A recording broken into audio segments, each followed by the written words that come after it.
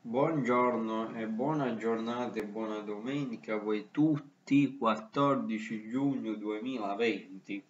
Bene cari amici, come ho fatto per la partita tra Juventus e Milan, ora andiamo ad analizzare la gara tra Napoli ed Inter che si è svolta ieri sera a porte chiuse allo stadio San Paolo di Napoli.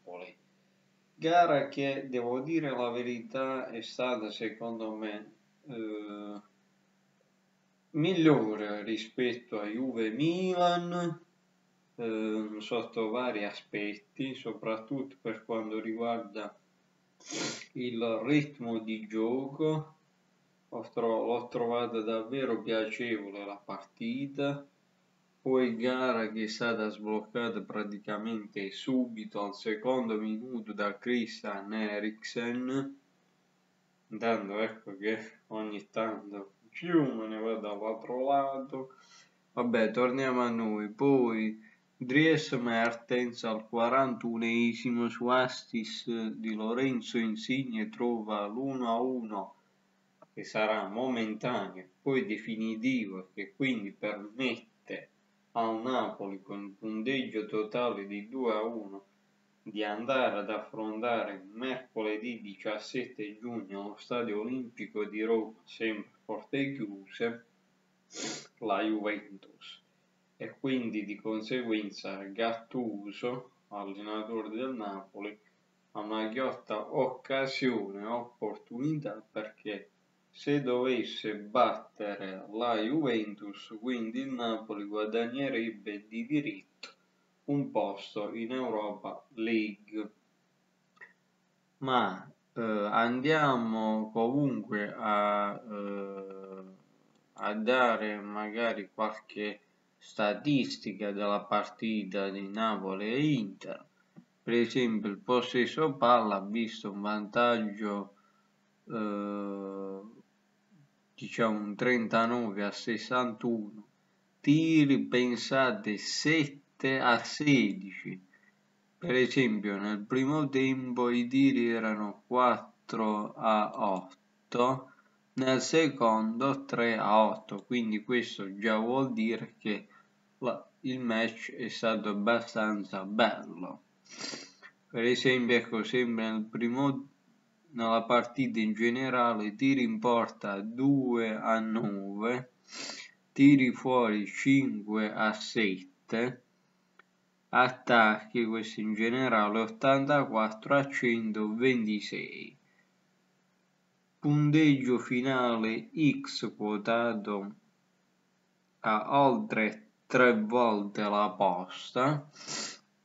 E diciamo che per quanto riguarda eh, il, le due squadre, eh, come ho detto già all'inizio, sicuramente ovviamente rispetto a Juventus e Milan ci sono due organici diversi. Per l'Inter diciamo che a questo punto quindi c'è un uh, margine diciamo di sette giorni rispetto a alla sfida che dovrà recuperare, credo sabato prossimo, in casa contro la Sampdoria. Eh, il Napoli non mi ricordo se ha un recupero, comunque ho detto eh, Napoli che ha la ghiotta occasione. Beh certo, sicuramente la Juventus non starà lì a guardarsi nel cielo, diciamo così, cercherà ovviamente di rifarsi dopo. Eh, sì, eh, oggi i bianconeri hanno passato il turno contro il Milan, però eh, come detto da me nel video di ieri, appunto Cristiano Ronaldo un po' sottotono, poi eh, comunque una finale Juve-Napoli che come sentivo alla televisione è una finale bis, nel senso che eh, ora non mi ricordo l'annata, comunque si, si è fatta già questa finale qualche anno fa o un paio d'anni fa eh, di Coppa Italia. Eh, e, bah, per me ovviamente che vinca il migliore poi ora è un po' presto comunque arriverà anche per Juve Napoli il video con il pronostico Intanto io vi consiglio vivamente di eh, qui di, nel mio canale di eh, consultare i vari contenuti. Ricordo che a partire da ieri sera più o meno c'è il mio video con i pronostici dell'evento speciale pay per view che si svolgeranno la notte tra oggi e domani dalla WWE Backlash eh, poi ci sono le varie recensioni della settimana, SmackDown, Raw, NXT o l'Elite, di tutto e di più. E poi infine voglio ricordare, come ho sentito appunto in tv, che mercoledì, oltre alla finale tra Juve e Napoli, al recupero di Serie B, di cui anche per lì andremo a fare un video. Uh, ho separato insieme a quello della, della finale di Coppa Italia Juve Napoli ma mercoledì 17 ricorrerà l'anniversario della straordinaria vittoria dell'Italia contro la Germania per 4 a 3 eh, beh, forse magari io non ero neanche nato, no? probabilmente sì, non ero neanche nato. E... Beh, vi saluto a voi tutti, vi auguro una buona giornata, una buona domenica. Qui a Trani il tempo è bello, soleggiato, meglio così. Sicuramente le spiagge verranno saranno protagoniste in questa domenica.